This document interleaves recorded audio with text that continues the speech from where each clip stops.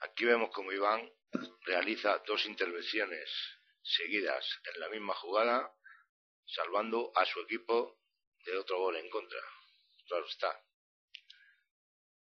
Chicos, damos muchas facilidades, muchas, muchas